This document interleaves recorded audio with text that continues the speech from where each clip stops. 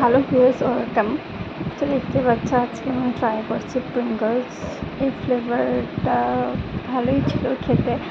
Pink flavour basic flavour তুমি try করতে পারো। এনজয়